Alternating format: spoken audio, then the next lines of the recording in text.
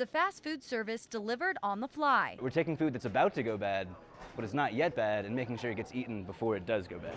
But these students aren't just giving away leftovers, they're biking the food to shelters like Marian House Soup Kitchen. They're bringing it right over from that day and it's nice and fresh and we can test it. What we found was that the idea was so popular within the community that not only did the school support us, not only did the entire community support us, but we had volunteers signing up every single day. It's called Colorado Springs Food Rescue. What they're doing here is sending a direct feed to the community and tackling two problems at the same time hunger and food waste. Recent estimates have stated that 40% of the food produced in this country is thrown away before it's eaten.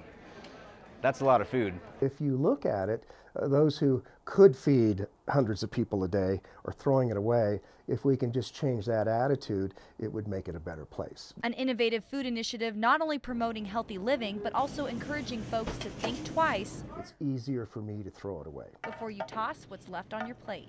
In Colorado Springs, Kristen Leone, Fox 21 News.